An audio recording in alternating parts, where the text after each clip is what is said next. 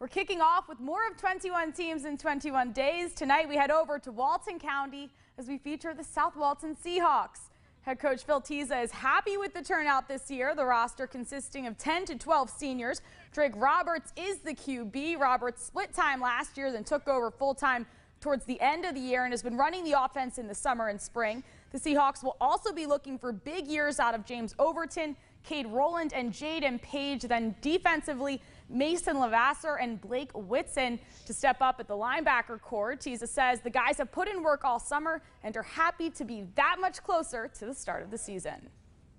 The big point of summer is, you know, trying to get bigger, faster, stronger. Um, so, you know, we've, we've done a little bit of that. Now it's time to actually, you know, get back to doing football. And so trying to figure out exactly where we are as a, as a team in these first couple of weeks. And, you know, look forward to finally getting the strap on and play somebody else and see where we truly are.